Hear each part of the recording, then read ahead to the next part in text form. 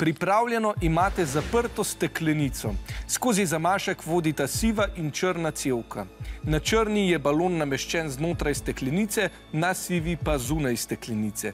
Kateri balon se napihne, ko pihnete v črno cevko? Je to A notranji, B zunanji, C oba ali D nobeden?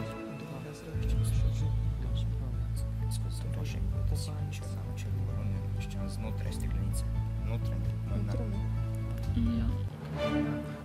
Rumeni ste torej odgovorili, da je to odgovor C oba, vijoličasti pa A notranji.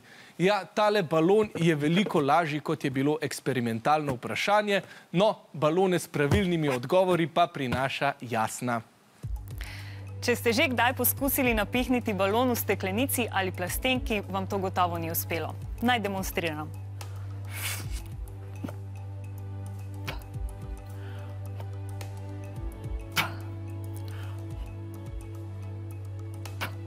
Ne gre. Namreč, ko se balon napihne, zrak ne more več uiti iz steklenice in se mora, ko se balon širi, stisniti. S tem se poveča tlak, ki ga s pljuči ne morete premagati. To uhajanje zraka pa lahko izkoristimo tako, da nam bo uspelo napihniti ne samo en balon, temveč dva. Kar lepo poglejte, kako se napihuje balon in v steklenici in zunaj nje. S tem sem zrak, ki vhaja iz steklenice, ujela v drug balon. Ko se notranji balon začenja napihovati, izpodrine zrak, ki napihne zunanji balon. Pravilen je tako odgovor C,